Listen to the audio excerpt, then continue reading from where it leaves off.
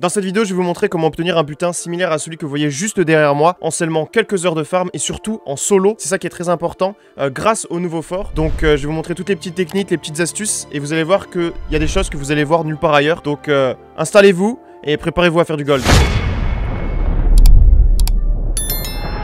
Yo tout le monde c'est Dofi, j'espère que vous allez extrêmement bien, bienvenue à tous dans une nouvelle vidéo, vidéo tutoriel les gars, je vous avais promis que j'en ferai une sur les forts, j'adore les forts vous le savez, pour ceux qui me suivent sur Twitch, d'ailleurs venez me suivre, euh, le lien est en description évidemment. Donc on est parti aujourd'hui pour une vidéo euh, où je vais tout simplement vous faire un tuto sur comment faire un maximum de gold sur Sea of Thieves en tant que solo et en utilisant du coup les nouveaux forts qui sont sortis pour la saison 6. Donc vous avez un gameplay que j'ai préenregistré en fond qui va me permettre du coup d'expliquer un peu ce que je fais. Je vais vous conseiller de choisir un fort en particulier. Vous pouvez prendre n'importe lequel. Moi j'ai celui qui j'ai pris pardon, celui qui se situe au nord de la map tout simplement parce que c'est celui qui donne le plus de supplies. Vous allez le voir. En termes de tonneaux suspendus, il y a 5 spots. C'est euh, celui où il y en a le plus tout simplement. Et vous allez voir que grâce à ma technique, vous n'avez pas besoin d'aller faire plusieurs forts. Il n'y a pas besoin d'aller faire tous les forts de la map. Ça n'a rien d'opti de faire 15 carreaux pour aller d'un fort à l'autre. Nous on va rester sur le même fort et dans cette vidéo je vais vous montrer comment faire pour que le fort se refill très très très rapidement. On parle de quelques minutes les gars, genre deux minutes. Donc c'est abusé. Et vous allez pouvoir farm en boucle le même fort. Mais on y viendra un peu plus tard dans la vidéo. Là, vous voyez que j'ai commencé à farm. J'ai choisi le pistolet et je viens de trouver la première clé. Euh, je vous conseille de faire ça pour être optimisé pendant votre run, pendant que vous faites le fort. Trouvez la clé. Il y a deux, trois endroits un petit peu euh, spécifiques où vous la trouvez souvent. Ça, c'est à force de jouer que, vous pourrez euh, le trouver, mais c'est généralement à l'intérieur du bâtiment, même si ça peut être à l'extérieur, attention, mais c'est généralement à l'intérieur. vous ouvrez, vous la voyez souvent briller à travers, et puis ça vous permet d'aller ouvrir en haut la petite cellule que vous voyez, où je suis en train de déplacer. Vous avez toujours une gemme à cet emplacement. La gemme peut être de différentes couleurs, donc plus ou moins plus ou moins de valeur euh, en fonction de votre chance. Et euh, une fois que c'est fait, vous pouvez retourner farmer comme je suis en train de le faire. Vous le voyez, je farme au pistolet. Très très très important les gars. Les fantômes ont euh, une vie très très très basse, ce qui fait qu'ils peuvent se faire one shot par n'importe quoi. Une balle de tromblon, une balle de sniper, mais aussi une balle de pistolet. Alors autant utiliser le pistolet qui est l'arme qui recharge le plus vite possible pour du coup bah clean les vagues le plus rapidement possible comme vous le voyez actuellement sous vos yeux. À chaque fois que vous allez terminer une vague comme je viens de le faire, vous allez avoir la cloche qui va retentir. Attention, voilà. Ce qui vous permet de savoir que vous venez de passer une vague. Et comme vous le voyez avec le pistolet, ça va très très très très vite. Regardez avec vitesse, euh, je vais clean la vague. je viens de récupérer un triple chest. Je l'emmène en bas, je prends le temps de l'emmener en bas. Tout simplement parce que ça va me permettre de gagner un petit peu de temps sur le déplacement du loot euh, une fois que j'aurai terminé l'event. Là, on arrive directement au boss. Donc le boss, c'est 7 balles de pistolet, les gars. Voilà, une fois que vous l'éliminez, vous avez directement pardon, la clé qui va être drop. Vous pouvez aller ensuite ouvrir en bas. Donc là où j'ai mis mon triple chest précédemment. Et là, pour le positionnement du loot en bas, moi je le mets ici. Il euh, y a moyen d'optimiser un peu plus ça. Je pourrais le mettre un peu plus, euh, proche, pour avoir moins de déplacements à faire. Mais euh, très honnêtement, pour le temps que ça me prend, je préfère le mettre ici. Au moins, je sais que je pourrais harponner de mon bateau très facilement les deux spots. Donc le spot tout en haut que je vous ai montré précédemment. Et le spot juste ici. Donc là, on utilise le petit triple chest pour aller tout déposer. Euh, et puis on va aller vider tranquillement la cache. Juste avant d'harponner le loot et de du coup vous montrer comment le refill euh, extrêmement vite, on va juste faire un petit tour au niveau des supplies. Il faut savoir que j'ai choisi ce fort comme je vous l'ai dit au début de la vidéo parce qu'il y a énormément de tonneaux euh, suspendus qui vous donnent des loots complètement abusés. Je vous laisse regarder. Ça c'est juste un tonneau, vous avez vu. En termes de gold, l'équivalent à peu près de ce que vous allez faire par fort, c'est à peu près du 50 000, 60 000 gold par fort en Reaper 5. J'ai bien dit en Reaper 5. En effet, comme vous le savez, quand vous mettez l'émissaire, vous allez choper un fois 2, 5 en étant émissaire 5. Mais vous allez le voir, euh, je vais vous montrer une technique pour euh, vendre en Reaper 5 sans trop être spotted et en mettant Reaper 5 juste à la fin. Ok, je viens de prendre le temps du coup de vider l'intégralité de l'île pour vous montrer un petit peu en termes de ressources comme c'est abusé et regardez-moi ça. Ça c'est ce que j'ai eu en une seule fois. Vous allez pouvoir utiliser du coup les cuissons qui sont juste ici sur le, sur le fort pour prendre un petit peu de temps pour faire cuire votre nourriture. Sur votre premier fort, je vous conseille vraiment de prendre le temps de vider au moins une seule fois l'île pour avoir vraiment des supplies, pour avoir de la nourriture. Prendre le temps aussi d'utiliser la quadruple cuisson qui vous fait gagner un temps fou. Ok, une fois les supplies faites, on va pouvoir harponner Pour le placement du bateau, je vous ai dit de vous mettre ici. Ça vous permet d'avoir les deux spots en visu. Le premier, comme je vous ai dit, il est très proche, donc il est très simple. Vous allez directement tout vider. Et pour ce qui est de celui d'en haut, qui est un peu plus tricky, mais qui est relativement chill aussi, vous n'avez pas besoin de vous déplacer. Regardez, hop, comme ça et vous récupérez vos coffres. Ça vous permet d'être très très très efficace. Hop, une fois que vous avez récupéré tous vos objets, comme je viens de le faire actuellement, vous allez juste mettre la voile à fond, votre barre droite. Vous n'allez pas vous embêter à tourner, etc. Vous allez voir. Simplement, le harpon va suffire. Et regardez, on va mettre un petit chrono à partir du moment où on part de l'île. Vous allez voir, le refill est extrêmement rapide. Vous mettez un petit harpon 90 degrés pour être direction Hayden Spring Keep.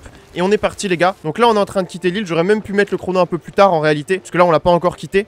Et vous allez voir du coup qu'on va aller à Hayden Spring Keep, qui va être notre deuxième destination. On va faire des allers-retours en fait entre euh, les, deux, euh, les deux îles. Vous allez me dire pourquoi Hayden Spring Keep? Tout simplement parce que euh, en termes de distance, c'est ce qui suffit pour que le fort se refill rapidement. Et c'est surtout aussi un très bon fort pour faire des supplies. Vous allez le voir, quand on va arriver là-bas, aura un petit peu de temps pour faire soit un petit peu de cuisson, euh, soit par exemple aller sur l'île et chercher par exemple des boulets spéciaux. Puisque le fort ne vous donne pas de boulets spéciaux donc ça peut être intéressant. Surtout en solo sloop parce que c'est très important pour combattre des plus gros bateaux comme des briques ou des galions. Vous voyez pendant le temps de trajet on perd pas de temps tout est optimisé on déplace le loot à l'avant. Comme ça pour la vente ça ira plus vite. Pour l'exemple là que je suis en train de faire je n'ai exprès pas mis les voiles au vent alors que j'aurais pu l'avoir tout simplement pour vous mettre dans les conditions les plus euh, les plus probables pardon puisque vous aurez pas tout le temps le vent. Donc euh, j'ai préféré laisser les voiles standards de face. Il faut savoir un truc aussi le refill du fort est une science inexacte euh, c'est une science inexacte. Pourquoi? Vous voyez, venez de se refill. Hop, j'ai oublié le chrono. On était à peu près à 3 minutes. Faut savoir que le minimum que j'ai fait, c'est quelque chose comme 1 minute 40, 1 minute 50 de refill. Et en termes de plus long, on a déjà fait du 6 minutes, 7 minutes. Mais c'est un petit peu difficile de vous dire exactement avec certitude combien de temps est-ce qu'il faut pour que ça refill et est-ce que ce sera toujours le même temps. C'est possible que ça varie un petit peu, mais vous le voyez, c'est relativement rapide. Une fois de retour au fort, ne vous en faites pas euh, au niveau des canons. Ça touche très très peu, on dirait moi en face euh, sur le fort. D'ailleurs, je pourrais mettre un petit chrono. On va se mettre un petit chrono pour voir combien, combien de, de temps je vais mettre pour farm cette Alors là, je suis pas du tout en speedrun. Quand je vous ai record le... euh, Hop, j'ai pas lancé mince. Quand je vous ai record euh, cette POV, euh, c'était juste avant de lancer un stream euh, l'après-midi. Donc je vous avoue que j'avais les mains froides et que je venais de lancer mon PC. Donc euh, au moins ça permet de voir dans des conditions euh, chill, pas en full tryhard non plus, parce que tout le monde ne tryhard pas autant que moi. Donc là, comme d'hab, same strat, j'essaie d'aller chercher la clé pendant euh, les, entrevagues, entre guillemets. Il y a des moments où vous allez mettre plus de temps que d'autres à la trouver. Ne vous obstinez pas à la chercher. Quand vous avez des fantômes devant vous, vous les focussez, c'est la prio pour que les vagues avancent vite. Ici, c'est un endroit où vous avez très souvent la clé, ce que je viens d'ouvrir. Vous l'avez aussi sur les petits trucs euh, à gauche. Ici, très rarement, vous avez jamais la clé ici. En tout cas, je l'ai jamais eu. Euh, donc, à force, comme je vous ai dit, vous allez connaître un petit peu les spots, les différents endroits où vous pouvez la trouver. Puis, vous avez aussi du coup des petits loots. Ça, j'en ai pas parlé, mais vous avez des petits loots. Euh, si vous voulez vous embêter à tout ouvrir, vous avez des petits loots cachés, etc. Honnêtement, je trouve pas que ce soit très très worse parce que ça prend énormément de temps de tout ouvrir et surtout énormément de temps de déplacer tous ces loots. Donc, je trouve pas que ce soit vraiment worse. Là, ce que je viens d'ouvrir, c'est l'un des seuls spots à l'extérieur où vous pouvez avoir la clé. Donc voilà, boum, je vous le donne. C'est l'info du dé. Je vous la donne, elle est gratuite. Là-dedans aussi, vous pouvez avoir la clé. Voilà, elle est juste là. Donc euh, je vous ai montré un petit peu les spots sur cette deuxième run où vous pouvez potentiellement avoir la clé. Et vous voyez, elle se trouve assez facilement. Hop, j'ai ouvert, je passe sur mes petits fantômes tranquillement. Et après, euh, quand il y en aura plus, je vais commencer à déplacer. Hop là. Tac. Vague terminée, je peux prendre deux petites secondes pour déplacer, vous voyez. On s'ennuie pas, ça va très très très très vite. Euh, hop, je vais trouver le petit triple chest. Comme tout à l'heure, on va le récupérer pour le mettre en bas. Le temps, encore une fois, euh, d'un changement de vague, on a entendu la cloche, ce qui fait que je perds pas de temps. Vous avez aussi les kegs qui sont à votre disposition. Vous le voyez là, je vais l'utiliser pour ce boss. Je sais pas si c'est vraiment le plus worse parce que c'est très dangereux, il y a énormément de kegs et vous pouvez très facilement mourir.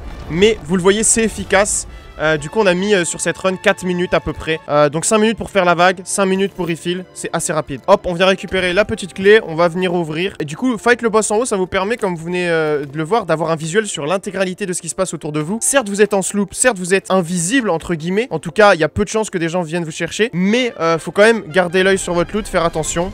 Comme tout à l'heure, on va venir ouvrir la grille pendant que ça ouvre la porte, tranquillement, pour pouvoir déplacer notre loot. On arrive bientôt à la fin de la vidéo, donc pendant que je déplace le loot, on va parler un petit peu gold, on va parler un petit peu, euh, du coup, rentabilité de l'event. Évidemment, on n'est pas sur du loot qui équivaut en FDD, mais il faut bien voir un truc, c'est que pour la vitesse à laquelle on peut farm l'event, et surtout le fait qu'il soit stackable, on est quand même sur un event qui est relativement intéressant, surtout en solo sloop, c'est pour ça d'ailleurs que je fais la vidéo en solo sloop, parce que pour le coup, euh, vous n'avez pas besoin de mate pour le farmer, ça va relativement vite, même en solo. Vous pouvez du coup en 10 minutes faire un fort, et donc comme je vous l'ai dit, en Reaper 5, faire l'équivalent de 40 et 60 000 gold. Donc on va prendre euh, 50 000, on va prendre une petite moyenne. 50 000 gold par fort en 10 minutes, ça vous fait 300 000 gold en solo par heure les gars. Si ça vous a plu, mettez un petit like, un petit commentaire. Abonnez-vous, c'est totalement gratuit. Et si vous avez des idées d'autres tutos ou si vous avez kiffé celui-ci, euh, n'hésitez pas à me le dire. Et puis j'en referai peut-être par la suite. En tout cas, euh, merci à tous d'avoir suivi. Euh, je vous souhaite à tous une très bonne après-midi, une très bonne soirée. Je sais pas quand est-ce que vous regarderez cette vidéo. C'était Dofi, on se voit très bientôt sur YouTube ou sur Twitch. Ciao ciao ciao les gars.